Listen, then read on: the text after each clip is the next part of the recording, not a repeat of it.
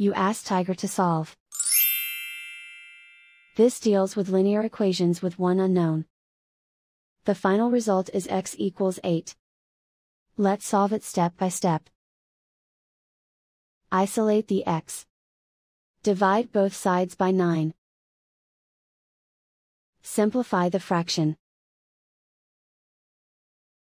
Find the greatest common factor of the numerator and denominator.